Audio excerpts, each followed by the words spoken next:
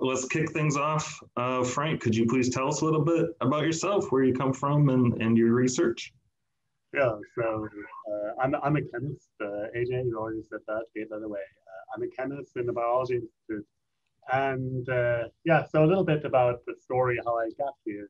Um, uh, I, I enjoyed playing with chemicals in high school and decided to study chemistry. So I started doing that, dabbled a little bit also in theoretical physics at the time, and then uh, really I got fascinated by identifying new compounds, new molecules from nature during my PhD in Germany.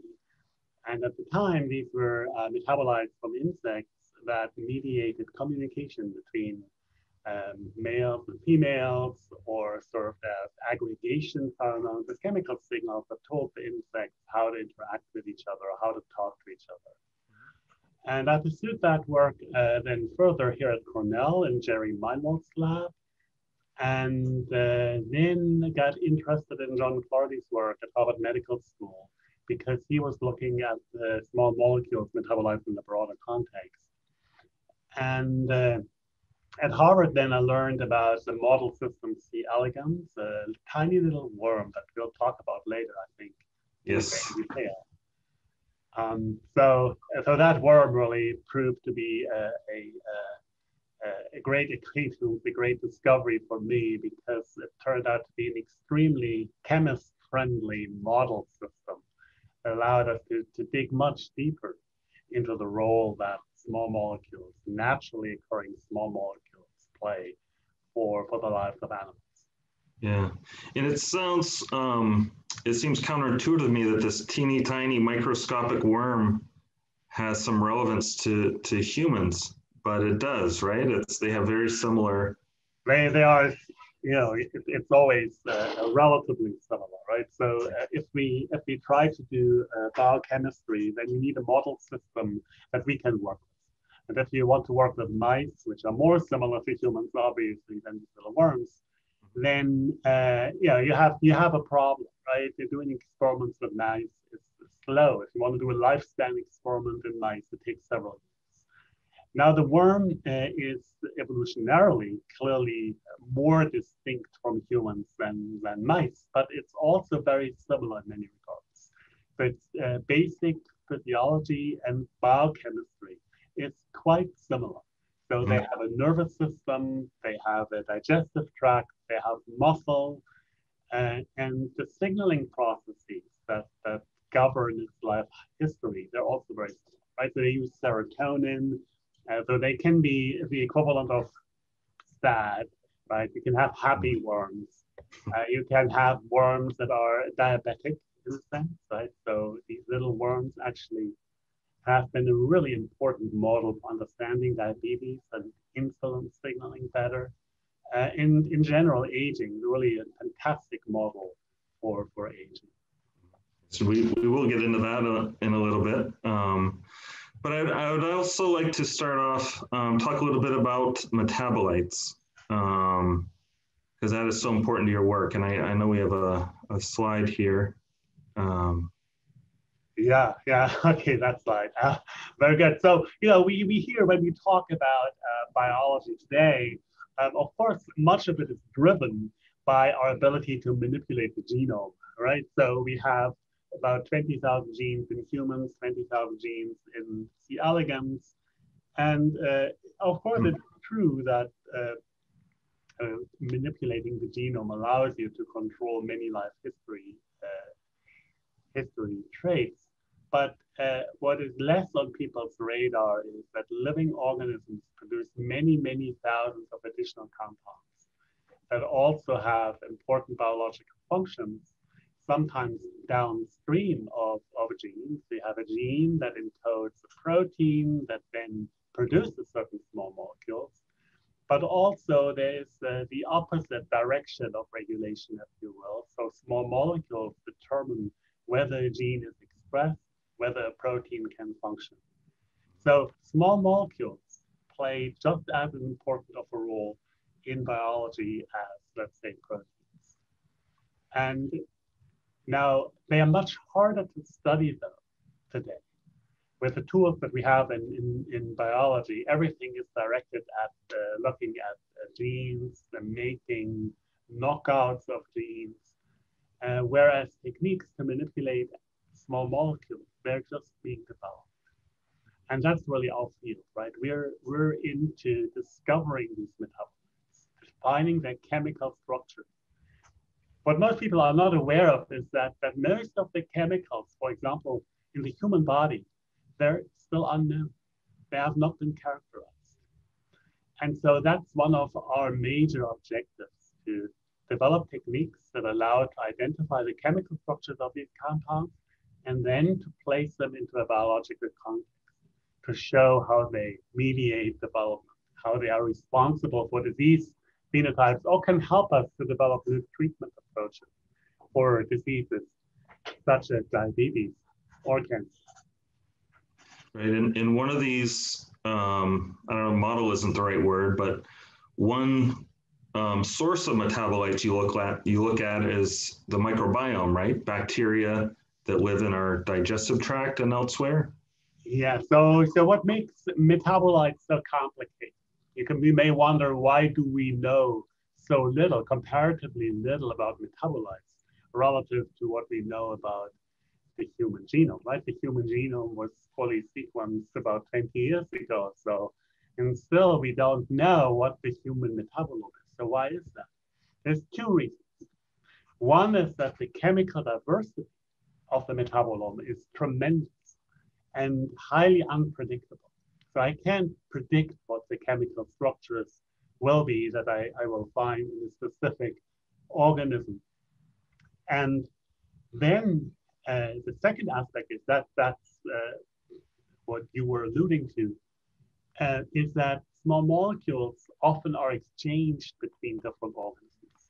So all the small molecules that we have in the human body, they are produced by the uh, human, by the, by the human organism itself, but also may originate from the microbiota. We have an enormously large number of uh, bacterial cells in our gut, but also on, on our skin and other parts of our body. And, and these bacteria, they contribute a very large portion of the chemistry that, that we carry around.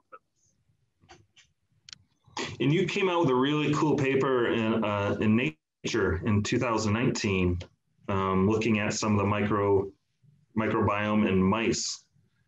Yeah, so there we compared, we compared the metabolome of germ-free mice and uh, normal mice, right? So with mice, uh, you can actually get them germ-free or almost germ-free. So they have no uh, bacteria in their gut, or at least you hope they don't have any. They have no bacteria on the skin. And uh, these mice are not very healthy. They have many, many uh, defects. And interestingly, they have uh, behavioral anomalies. So, for example, they have great difficulty forgetting uh, bad memories, if you will. Mm. So if they've been exposed to something threatening, they can't get over it. They can't forget it. Whereas normal mice, just like humans, eventually get over it, right? You had a bad experience, but eventually the, that memory will fade away. Now these germ-free mice, they they they they have difficulty getting over these uh, events that they experience, and uh, we showed that that is associated with specific changes in the composition of, of the brain, of the metabolite that you find in the brain of these mice.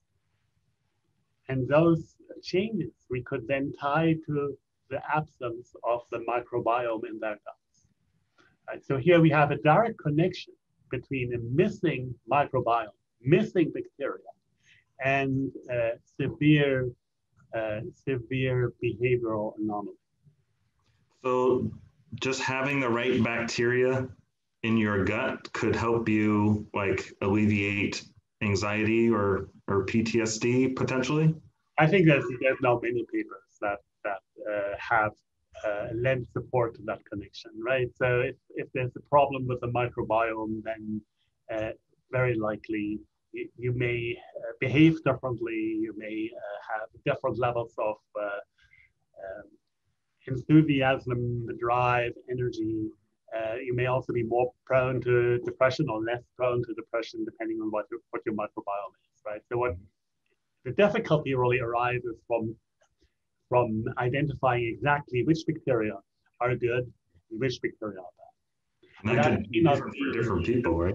Exactly, right. And it may not, it may be different for different people, right? So for some, for some individuals, uh, certain microbiome may be perfect and they may be perfectly happy with it, but the same microbiome in a different person uh, may may have different different effects. Mm-hmm.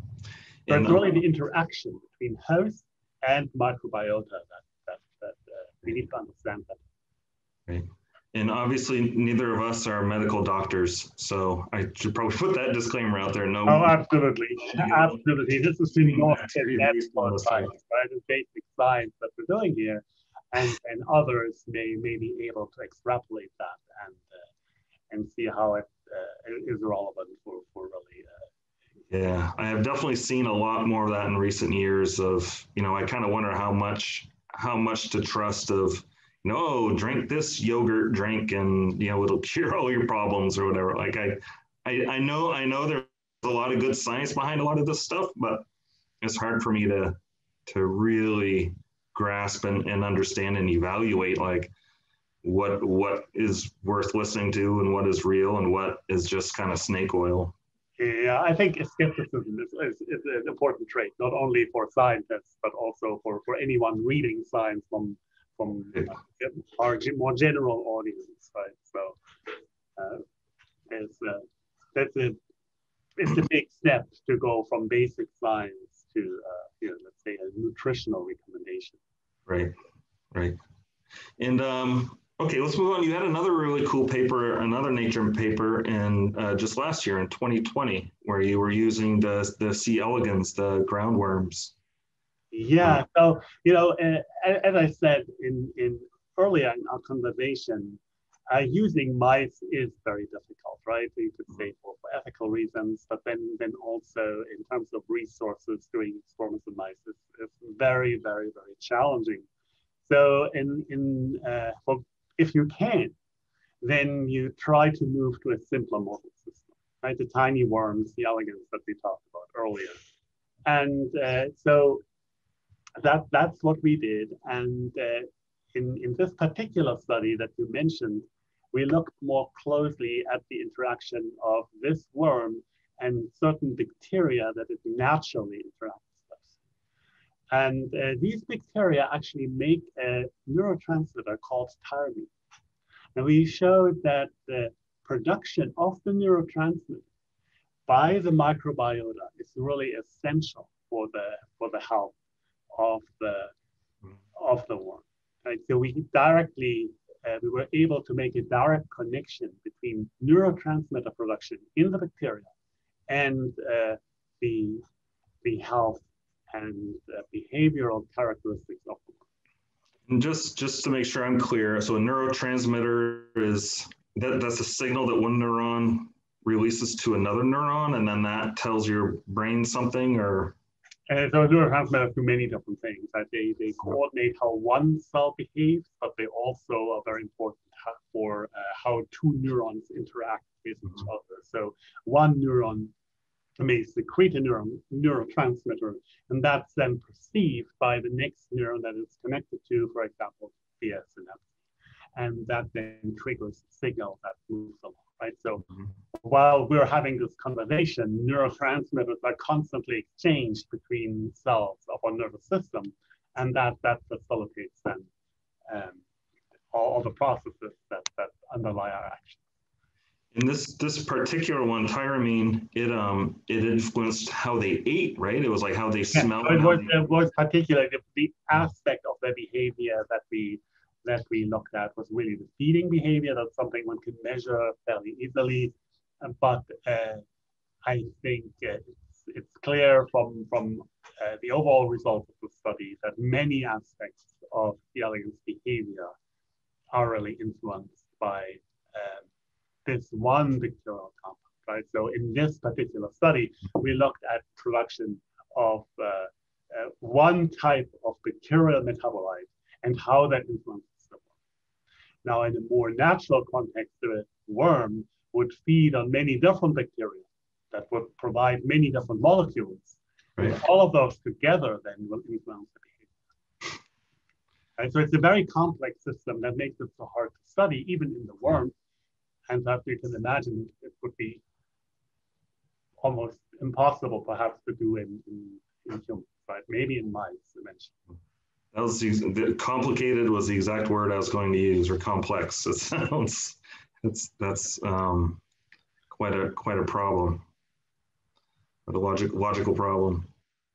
Um, okay, and and um, so you also talked about metabolites can impact physical develop, development. I believe uh, we touched on that a little bit earlier. Um, could you tell us a little bit about that? I know you did a study um, also using C. elegans earlier. Oh, this is a good slide. Yeah, so C. elegans is really uh, one of the uh, premier models to, to study animal development. And uh, the C. elegans research community is large, but a lot of those people really work on development, right? So development, how we go from a single cell to a fully differentiated animal that has the nervous system, muscle, gut, that can be studied extremely well in worms. So a lot is known about what happens while the worm develops. Here in this slide, you see an egg, right? You just have one cell in the beginning, then two cells, and then it, it, it, you know, it, slowly turns into a little worm, or one larva, and then it turns into an L2 larva, and so on, mm. eventually you have an adult and uh, what uh, the early C. elegans researchers noticed was that these worms, they can abort development. They can just stop uh, at mid-development. Let's say if you want to have a human comparison, they can stop at age eight or nine, nine years old, and mm-hmm. uh, stop developing and stop eating and turn into worms uh, that can then persist for many months. So they enter some sort of diapause. It's called the Dauer diapause from the German word for enduring Dauer. And uh, these worms are fascinating because they're so robust, you can put bleach on them, acid, they survive. Wow. And uh, so, so this, this uh, Dauer state was shown to be a response to uh, environmental stresses. So if you stress these little worms, they go into that. But also it was clear that the worms themselves make a compound that tells their fellows to also go into the diapause. So if one worm, worm experiences mm-hmm. stress, it will produce compounds that help everybody else also to stop developing. Let's go into this diapause state. Let's get really robust and wait until the threat, the stress has gone. Mm.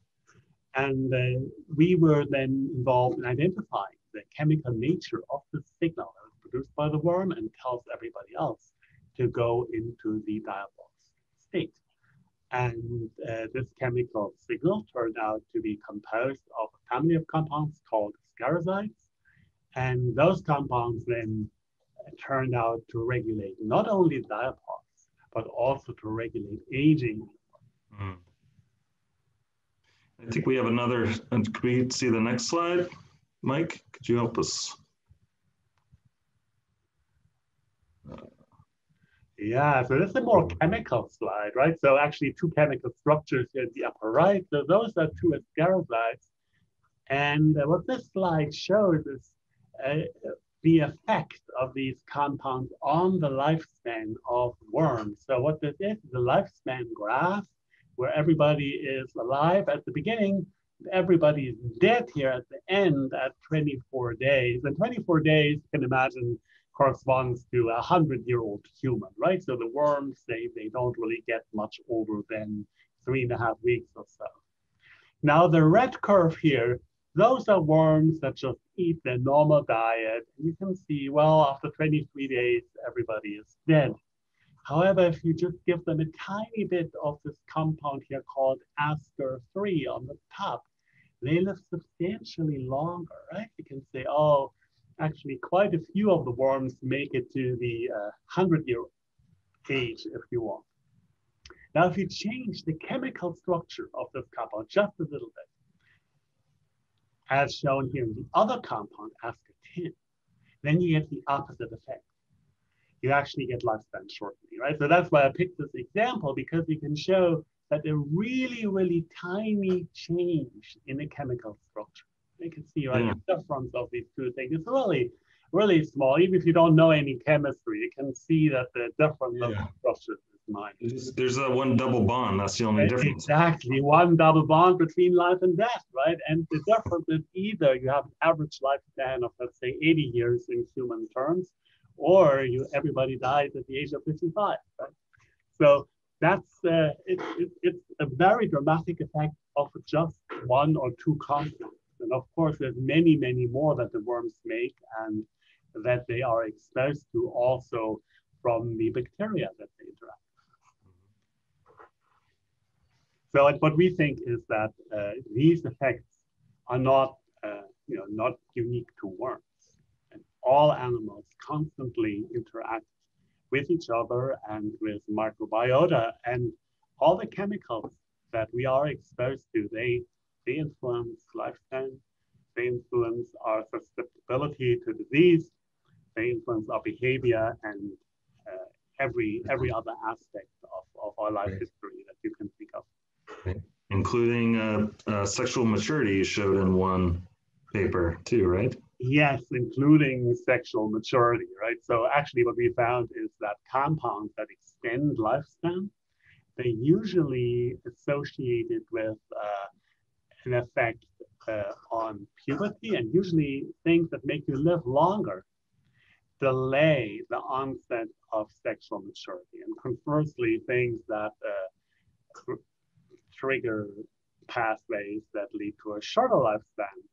Uh, those result in earlier puberty, right? So we have here this this, uh, this kind of uh, balance here between compounds like this molecule here on the left that uh, is, is, responsible for fast development, reaching uh, puberty, if you will, very early, also shortening lifespan. And then these other compounds that we already talked about, these ascarosides that slow down development in addition to giving a long life.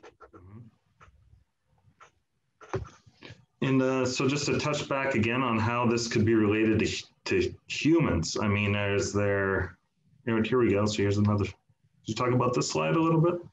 Yeah, so of course it's it's uh, it, no, it's a big step we're taking here. Right? We were talking about uh, maturity, sexual maturity in worms, and now we have a picture here that shows uh, the average age at which uh, uh, girls reach puberty, and uh, there may not be a direct connection, but it's certainly remarkable that the the age of reaching puberty have dramatically declined over the past 150 years or so, right? And there's uh, different statistics in different countries, and there may be all kinds of biases here that go into this graph. So uh, all of this should should be taken with uh, some caution. But really, the the mm-hmm. underlying reason for this decline in the the age or the earlier earlier maturation of uh, uh, young young women and also young men. And that's not really clear, right? I suspect that better nutrition plays a role, many, many other things. But I think uh, the role of environmental small molecules should not be underestimated, right? Mm-hmm. Very, very, very well possible and perhaps a good hypothesis uh, to, uh, to assume that uh, part of this decline is due to exposure of small molecules, environmental small molecules. And, and pheromones as well, right? Isn't that? Uh... It could be. It could be also pheromones. Of course, that would get very speculative, right? So I think just to say it could be in part environmental uh, small molecules. I think that's a good hypothesis. Mm-hmm. Yeah, because I, I, I remember seeing from that other paper that the, the chemicals that made the the C. elegans worms reach sexual maturity more quickly is is closely related to things that are into chemical compounds that are in human sweat. Is that correct? Kind of. That's true. That's true. But uh, of course, um, the chemistry, the basic biochemistry that you find in worms is very similar to that in humans. So any compound you may identify from worms, or most of them, may have similar compounds uh, or uh, analogs in humans. Mm. And just because there is a structural or chemical similarity, we cannot automatically assume that the compound has the same function. Mm-hmm. Right? So that's that's not the tr- not the case. Right. This example that we had earlier, I think may show that that we just add another bond, we get the opposite effect. Right? right. So really, uh, even similar chemicals may have very, very different yeah. That makes chemistry so complicated, right? So right. say, okay, this molecule is good for you, but then a very small change may turn it into something that's not good for you or has the opposite effect. Right. And it's also interesting. I was thinking, you know, as as human, uh, you know, age of puberty is decreasing, our lifetimes are increasing. So is there is even more complicated, right? Like our diet is better, medicine is is better. Those are external influences, right? So, but what we have to look at is other measures of aging and health span, right? And we have, uh, I think, if we go back a couple hundred or even a couple thousand years, there were always people who lived to 90 or 100 years old, right? So, mm-hmm. I don't think a maximal human lifespan has increased significantly um, over the, the past couple hundred years right? Average lifespan for sure, absolutely, but maximal lifespan, I don't think that's so clear. Just more people are, are reaching it or getting more close people to it. reaching old age, but if you look at the you know the, the oldest right. people alive today, they're not older than the oldest people alive 50 years ago. Right. Right. So what are what are some of the other implications do you think of your researches on on aging in particular? I think what we really need to do is uh, characterize the human metabolome, maybe start with the mouse metabolome, and look at uh, the time points at which different metabolites are made. Right. So if you, if you look at the, an organism uh, only at one time point, you may miss important, very important things. So what we're currently trying to do, again in the model system, C. elegans is really to pinpoint when a different molecule is made, because that may help us understand how they promote their biological effects. And for many compounds, we don't even know what they do. It may tell us um, what context they may have, right? What uh, roles they may play. And by looking at uh, the metabolome of very young animals, older animals, and very, very old animals, we may be able to understand what processes really underlie this, this decline and how we can perhaps uh, use these molecules to understand the mechanism to, that, that mediate and control the whole process. And at that stage, we can move to, to higher animals, right? Once we understand the mechanisms, we can see whether perhaps in mice, similar mechanisms are at work, and uh, then try to manipulate lifespan in mice. Are there a lot of people working on this? Well, uh, I, there are a lot of people working on aging in C. elegans. So that's really a big deal because it's just such a great model. We have a lifespan of three weeks. Like you can can come to uh, you get some results within a few months as opposed to a couple of years. And small molecules uh, are uh, still uh, an area where, where we need more people, right? So obviously small molecules are important for every aspect of, of animal development, animal life history. And uh, yeah, so we need more chemists uh, to join the board, but also more biologists to get interested in chemistry. Because I mean, there's so many different aspects. You know, the air we breathe, just stuff, whatever's in the water, you know, um, our diets, all kinds of things what's in the rain. And and you know the, the thing that people many uh, many biologists I think are not aware of is how little we know, right? And how yeah. many uh, how many compounds we're constantly exposed to, and uh, how much the uh, presence of these metabolites affects the outcome of biological studies. Mm-hmm. Okay, let's um, let's move to the Q and A. We have a few questions in here um, from Sunanda Das. Um, it looks like the main question is: Could could you kindly discuss the chemical dark matter of the metabolome? Well, I was just trying to yeah. trying to uh, interest people in. Yeah, so um, you know, if you take a, a, human blood sample and you you ask me, okay, so how many chemicals different chemicals can you detect? I, would say, oh, a couple of 10,000, maybe close to 100,000. And then the next question could be, okay, what are those chemicals? And I have to say, well, I can probably identify maybe 5,000, and for 10,000, I can tell you roughly what they are. Yeah. But for the majority, probably I, I can't tell you what they are. Right? Maybe I can have a very rough guess, guess as to what compound class they may belong to, but essentially that's Dr. Brown. Yeah. That's why, what we refer to as the chemical dark That makes sense. And to you, is this the chemistry of life? That's a pretty interesting question, philosophical question. Yeah, a philosophical uh, question. The chemistry of life is how all the molecules interact. Right? Not only the small molecules, the small molecules mm-hmm. interact with the large molecules, small molecules serving as building blocks for the large molecules and, and the whole system, right? So that's yeah. everything. Here's another question. Is there a role for big data in helping to establish the cause and effect, correlations and connections with other research, not necessarily using C. elegans, to understand the roles of metabolites? And are there any computational scientists involved in this type of research? It's a good question.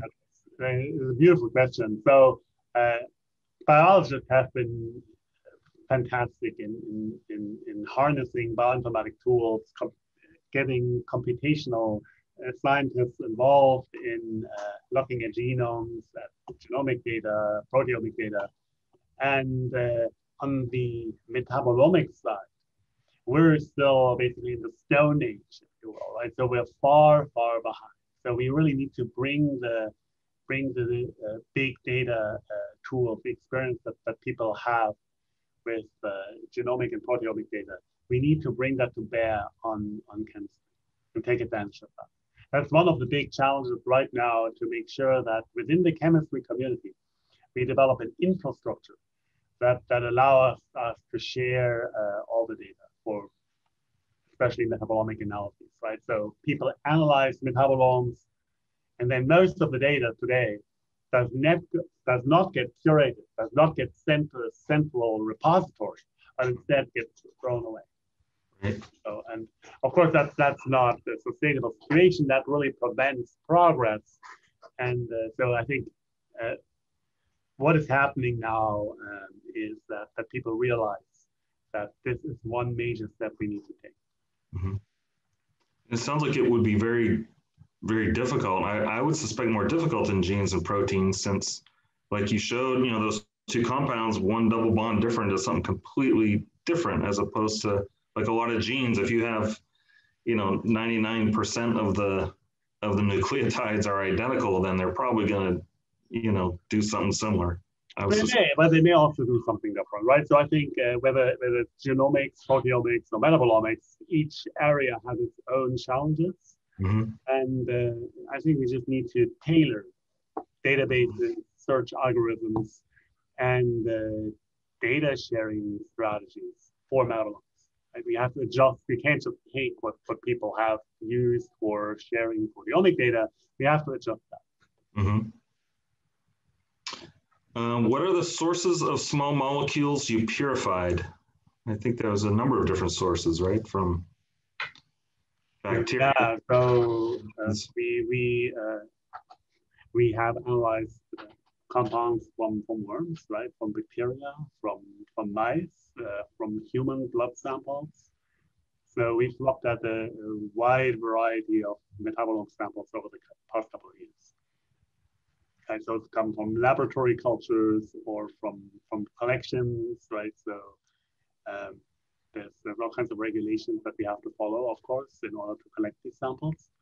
And uh, yeah, so what, part, part of the work in my lab aims to um, show that metabolites that we find from one source, let's say from C. elegans, they're also present in other organisms or also play biological roles in, in other organisms. Mm-hmm. And how much of the small molecules needed to cause the mouse's microbiome changes? I'm not sure. Um, so I think uh, I'm not not exactly sure what is meant here, but uh, in general, very very small quantities of small molecules can have very very profound effects. Right? So sometimes it's, it's, a few nanograms of a molecule that can completely change um, a, a disease trajectory or behavior of, of a mouse. And can be femtograms for worm, right? Of course, the worm is also. So small molecules can be biologically active over a very, very wide range of concentrations. That's actually an important point to touch on um, because it, it's, it's hard to, to face them or grasp really um, what that means. So some compounds like glucose, right, they, need millimolar, really con high concentration, invisible amount in order to have an effect, right? It tastes sweet, for example. But other compounds uh, may be so active that a completely invisible quantity has a very, very profound effect. yeah, because for the, for the mouse study, you were using germ-free mice, you said, right? And then you were basically implanting them with with a microbiome. Is that how you were doing that study? Uh, I think in the in the mouse study, what we started with was uh, just comparing comparing the germ-free mice with the normal mice. I see. Right. So, and what we're currently doing is we're putting back different bacteria into the germ-free mice. Actually, that's work by David Artis at Weill Cornell he's doing all the mouse studies. And uh, what their team is now doing is they're looking at uh, monocolonized mice, where you just have a, a mouse that was germ-free and then got one specific type of bacteria or a group of bacteria put back in to see what does this specific bacteria have in terms of effect on, on behavior. And how do you administer the small molecules to mice? I mean, you are. Uh... So there's, there's different different ways to do that, right? So what you need to make sure is that the small molecule gets to where you think it may act. And uh, so sometimes you can just give the small molecule in the water, and just add it to the water and get an effect. Sometimes you need to inject the small molecule. Okay. And you were also looking at, in that study, you were looking at the metabolites that were in the like cerebral spinal fluid, correct? That's where you were. Exactly, or in the brain, right? So you can't, I mean, you can administer compounds in other ways, but that wasn't necessary here, right? So in this study, compounds were administered, uh, I think, primarily through the drinking water, mm. and uh, in some cases, I believe, injected. Okay. Next question. Uh, these are great questions. Uh, how far are we from a technology like NIR slash infrared or other non-invasive slash non-destructive imaging tools that would detect metabolites in real time in worms, plants, or humans? A fantastic question. So we're very, very far away from that, right? So my dream is to have some type of analytical technology that would allow me to really see the individual compound, right? In a cell, if you look at a, a, a human or a C. elegans cell, it's, it's not a balloon, a homogeneous balloon. It's compartmentalized. There's mm. different rooms, right? Different portions that have very, very different chemistries.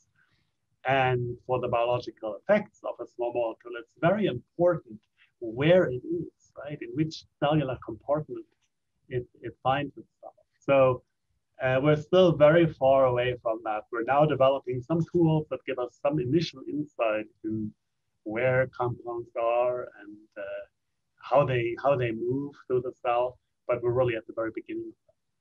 Mm. probably which cell they're there exactly. The initial question would be which tissue, right? Next, right. which cell, then where in the cell? Is it in the membrane? Is it in the nucleus? Is it in the mitochondria, in the peroxisome? There's uh, Uh, many, many different places in the cell where a compound can be. And what we already know is that different parts of the cell have completely different metabolites. Yeah, and then you compound that with, you know, with, with your diet, and that's might not be directly influencing you, but it's influencing your microbiome, and then that's what's influencing you. So there's all. Right. So I mean, the microbiome has really effects on several different levels, right? So the microbiome may produce compounds that are absorbed, right, and then mm-hmm. may have effects in the body depending on where they get transported to. So there's the mm-hmm. transport component, but then the microbiome also metabolizes compounds that uh, the human secretes into the intestine. So it's not just the microbiome makes compounds and we're taking up those compounds. It's also that the microbiome is act actively uh, involved in modifying things that we already make. For example, bile acids, they're secreted in the gut, and then the bacteria modify those bile acids further, then they are reabsorbed by the human body and transported to, to all kinds of places, controlling immunity, controlling many, many aspects of right. I didn't know that. That's really interesting. okay, next question. Your work is expanding into agriculture. Can you comment about how work how worm metabolites may affect plants? Yeah, so that's that's a nice question also. So um, many of the compounds that we've identified from worms, they are not only made by this laboratory model species, C. elegans, they're also made by many other worms by worms that exist in the soil outside uh, my window here that also are parasites of plants and animals. Right? So what we're not so much aware of today is that uh, almost uh, every animal in the wild is carrying worms, and every plant that we have is somehow in an association with worms in the soil. And it appears that uh, plants have learned to talk to worms or somehow interact chemically with the worms in the soil.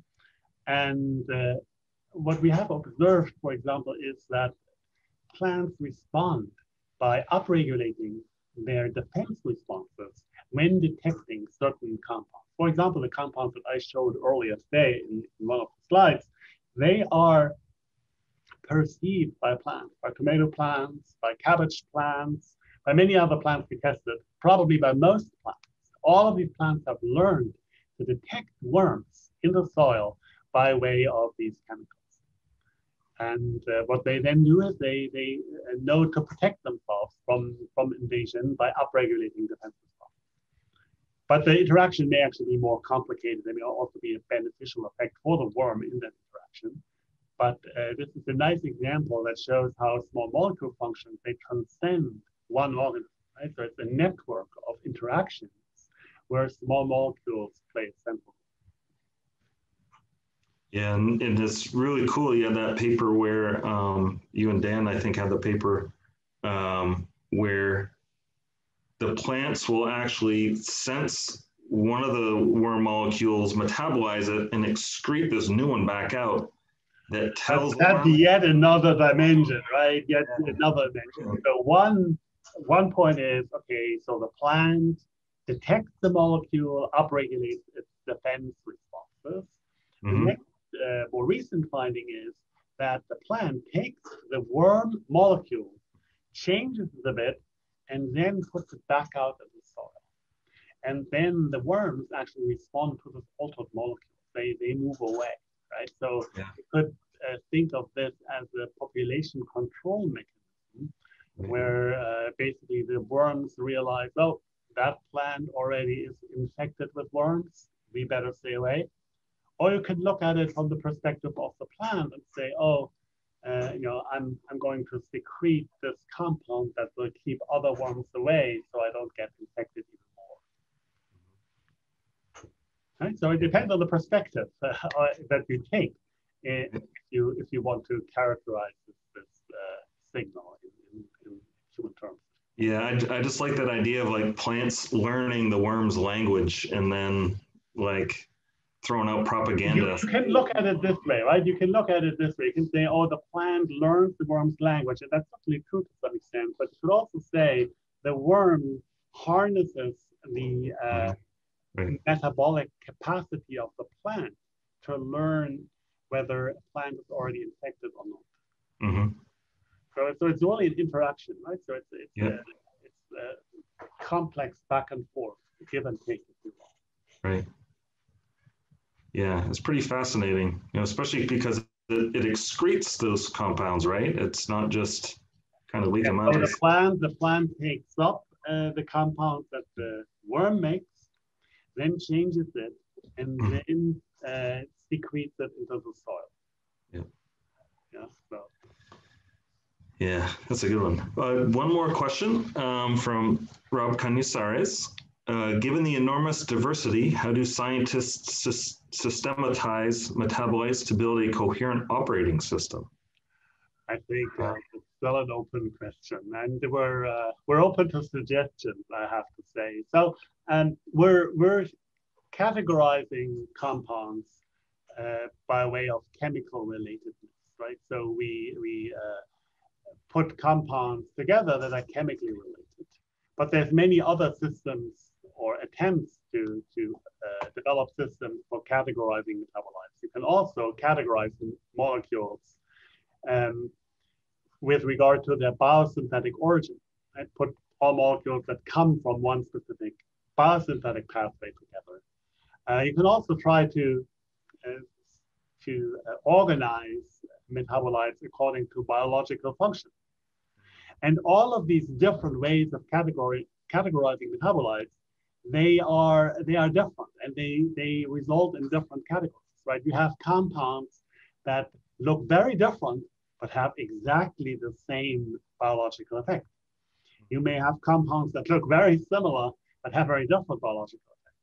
You may have compounds that look very similar, they come from the same biosynthetic pathway, but sometimes you also have molecules that look very, very similar, but they have just co-evolved to look similar. They actually come from very, very different biosynthetic pathways. So just organizing metabolomes, organizing the data and the chemical structures, that is still a challenge.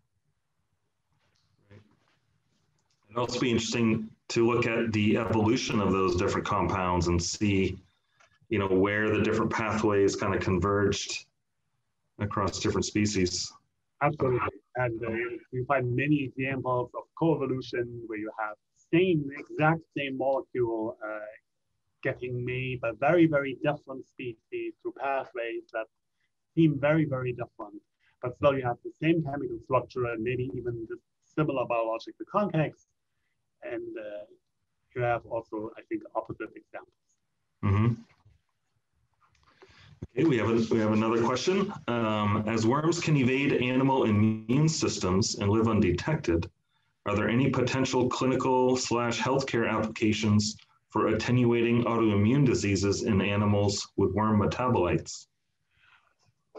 There, there are, there, there are. And uh, we have a paper that is in review that, that discusses exactly this, uh, this idea, right? So one big question um, in parasitology in general is how do parasites manage to survive for so long in the host organism, right? You would think the host organism would kick out the parasites or uh, in, in the attempt of, of trying to get rid of them, perhaps kill itself, right? Because it's, it's uh, a really a major uh, perturbation or disturbance if you suddenly have a worm crawling, crawling through your tissues. And uh, what is clear is that, that parasites have ways to evade the immune system of the host. And small molecules appear to play a major role in that. And so we, we, we think we have identified some of the small molecules that play a role Okay, that was the last question. I think that's good timing. Um, if anyone else, we can do one, one more. If anybody wants to type real fast, get something in there. All right, I don't think so. I think that's good. All right, uh, so Dr. Frank Schroeder, thank you so much for taking the time to chat with us today. That was that was really that was a lot of fun. I enjoyed that one, and thank you to everyone out there who joined us um, for this uh, fun breaking ground discussion. And please join us for BTI's next Breaking Ground discussion series, which is a special edition of Breaking Ground. Uh, it's the Art at BTI. And uh, for those of you familiar with Art at BTI, um, we're excited to do this event virtually again this year. And for those of you who are not familiar with Art at BTI, please, uh, please definitely come check it out because it's a lot of fun. Um, and it's very, very unique. Uh, we pair an artist who is inspired by plants with a BTI researcher who can help provide some scientific context. And this year's event will be Thursday, June 24th, and we'll be talking with special guest Zachary Logan, a Canadian artist inspired in part by the, by the botanical preservations and drawings of Mary Delany, and Zachary creates large-scale drawings and ceramic works exploring themes of self-discovery, identity, memory, and place. And just to give um, some idea of the scale, this beautiful illustration you see on the slide here is about four feet by 10 feet. It's giant, gigantic tapestry. So he does these really gigantic, gorgeous, gorgeous pieces of artwork. And uh, he will be joined by BTI's Fay-Wei Li, who will discuss his experiences working with herbaria which are collections of preserved plant specimens, as well as their history and how these repositories can be used to document climate change, track pathogens, and even identify new species. Art and science come together as we engage around historic herbaria and how they've inspired contemporary art and research. So it's going to be a really good one. So please don't miss it. And you can go to btiscience.org for more information and to register. And let me get um, that URL into the chat for you all. Uh, let's see, I got a few other ones. I'll put them all in there all at once. All panelists and attendees. There we go. Um, and you can read more about BTI's current research and many other neat stories about BTI science in our annual report, which you can find online at btiscience.org slash annual report. And it is all digital with three different views, single page view, a two page view, which is most similar to seeing a hard copy, and a reading view, uh, which is easier like on your on your phone or something. It's like reading an, an, a news article on the web. And there are also many links to videos and other neat interactive aspects in the on, online annual report. And we're hoping to have our 2021 ready for today. We're almost there, um, but hopefully by the end of the week early next week, so you can check out our, our 2020 annual report soon. And thank you again, everyone, for coming and, uh, and participating. This was a lot of fun. And uh, I would just like to reiterate that BTI is an independent nonprofit research institute, and we operate in part thanks to the generosity of community members like you. And if you would like to make a gift to support BTI, you can donate online at btiscience.org slash give or, or email our development team at development at btiscience.org. Thank you all for your interest and support of BTI and have a wonderful day and be well. Thanks, everybody. Thanks,